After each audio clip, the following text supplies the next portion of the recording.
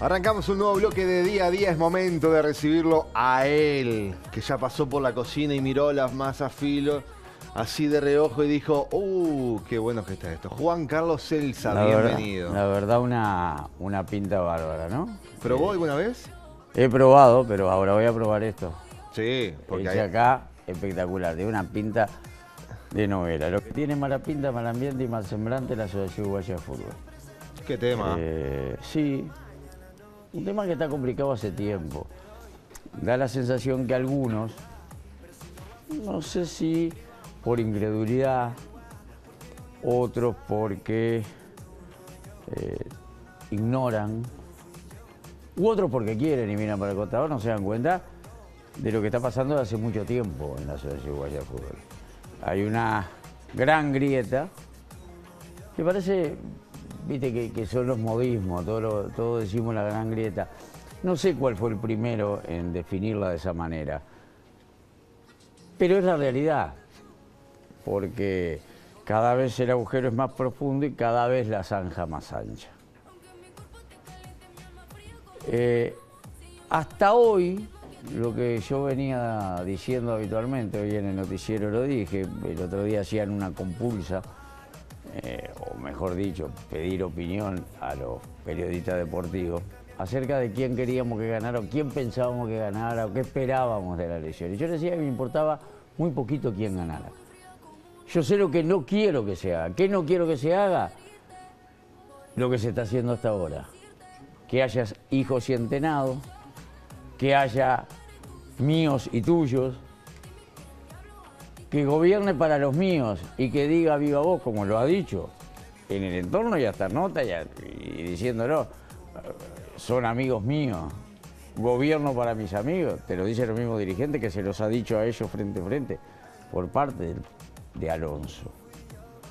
No quiero que al que tiene discrepancia o discordancia conmigo, yo no lo reciba porque no solo estoy fomentando división, sino que seguramente sea muy torpe en mis determinaciones porque no contemple a los demás y porque no acepte que alguien tenga un pensamiento distinto y capaz me aporte una idea que yo no tengo o que los que me mandan no tienen. ¿Qué no quiero de la Asociación Uruguaya de Fútbol? Y no me gusta demasiado que la Asociación Uruguaya de Fútbol esté conmebolizada. Palabra nueva desde hoy. Conmebolizar. Es parecido a colonizar, pero a través de la Conmebol.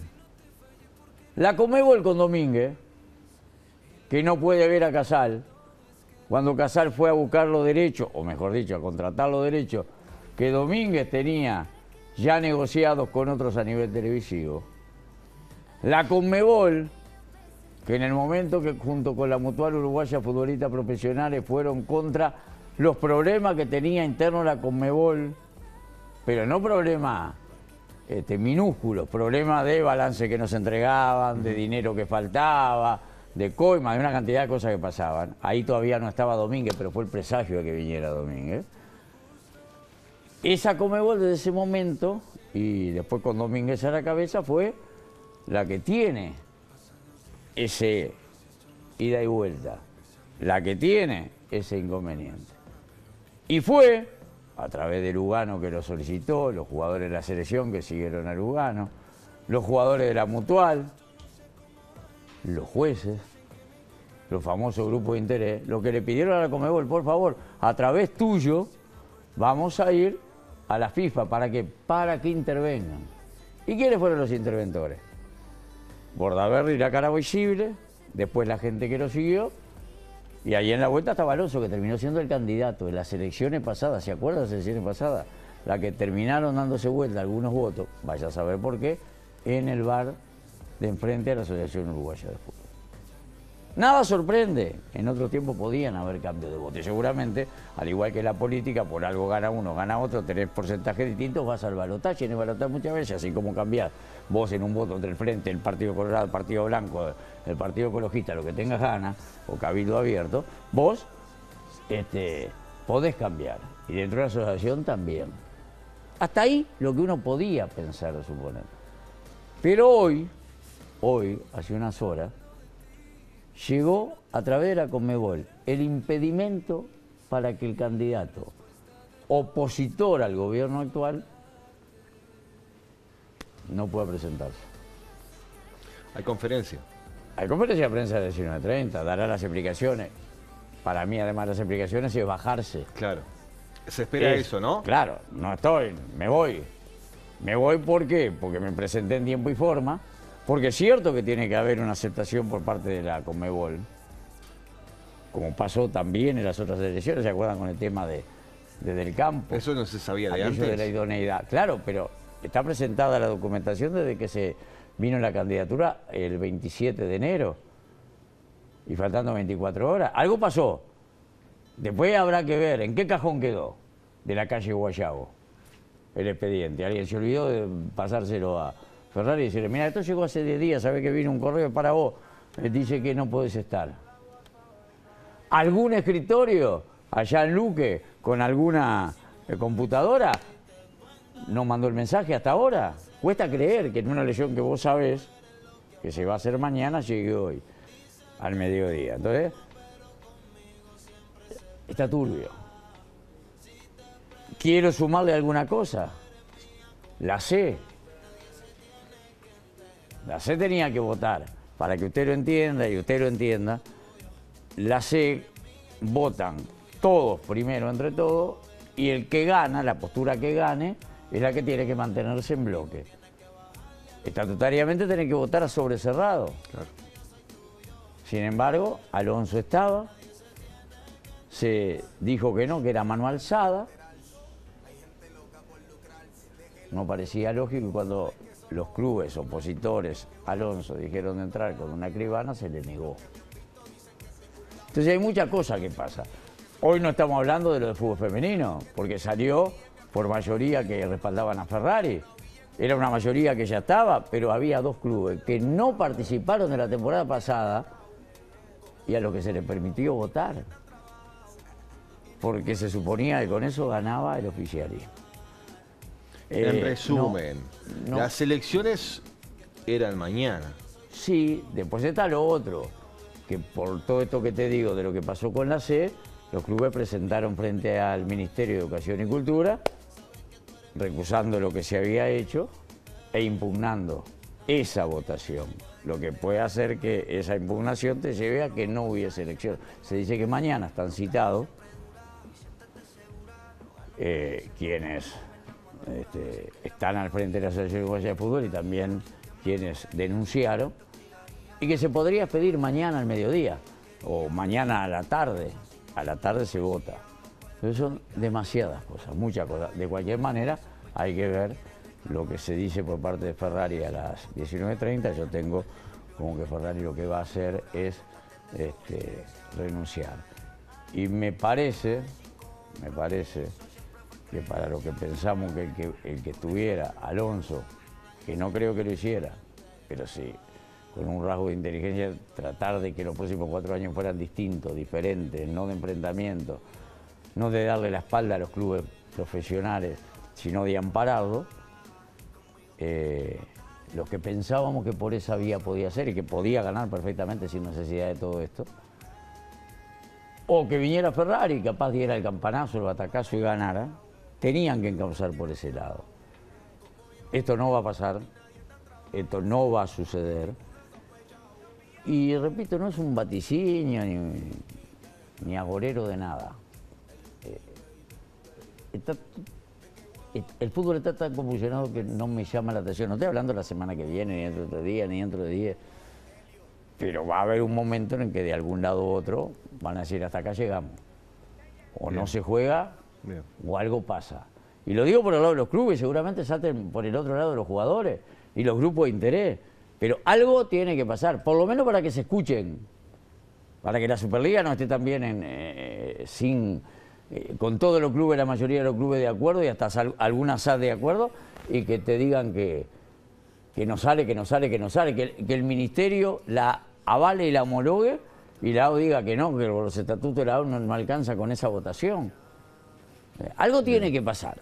Muy bien. Ahora, después nos quedamos y te hago la última, sé que estoy largo, después me voy a comer, si quieres no pongo este, imágenes, pero hoy el fútbol habla acá de todo, así que bárbaro, si no tengo que poner Bayern Múnich no lo pongo, si no tengo que poner PSV, P- PSG, no pongo nada.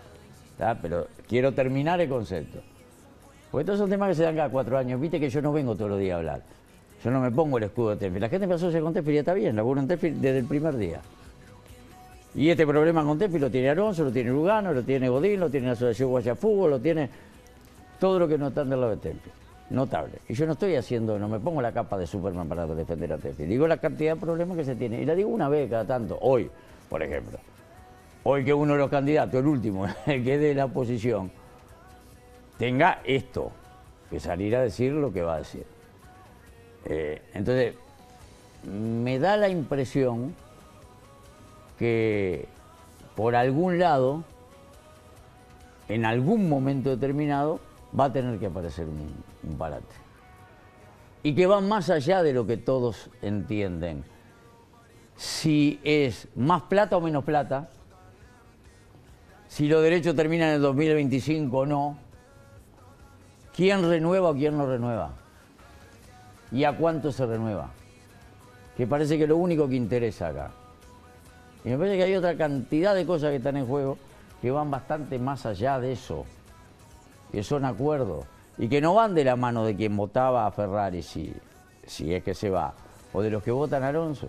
Caso Nacional, Nacional es el primero que en la fila de que quiere negociar eh, el acuerdo televisivo, pero por distintas razones, por el acuerdo que tiene con Balbi, por la interna que tiene, por lo que vos quieras. Por otro lado, en lo político, acompaña a Alonso. Hay muchas cosas que están mal y que van más allá de quien después tenga los derechos o el que venga, que habrá que ver quién viene. Y si vienen, y si ofertan, y si ofertan, cómo llegan. Y después la posibilidad de Tenfield de igualar, que a mí me quieren convencer personalidades del fútbol, que igualar, que, que el derecho que vos tenés si comprás algo, de que cuando viene una licitación o un ofrecimiento de otro lugar vos puedas igualarlo, como que es un hecho inédito que solamente Tenfield ha hecho en el mundo. Y es mentira de la gente. Cualquier emprendimiento, cualquier derecho que se compra, de una marca, de lo que vos quieras, tiene habitualmente esa cláusula. No acá, en el mundo entero. Pero ese es otro tema. Ojalá venga alguien con plata y ojalá haya trabajo para todos, de los muchos que tienen trabajo hoy en Tenfield. ¿Cuántas? ¿500 familias? Bárbaro. Ojalá venga uno que le dé trabajo a 700 familias, que transmita no los 8 partidos, 34 partidos, con nuevos clubes. Todos los clubes que ahora eh, este ejecutivo puso en la C para ganar votos y en la D para ganar votos. Todo, transmitir todo. Que venga todo. Me parece bárbaro. Ahora que aparezca alguien, ¿eh?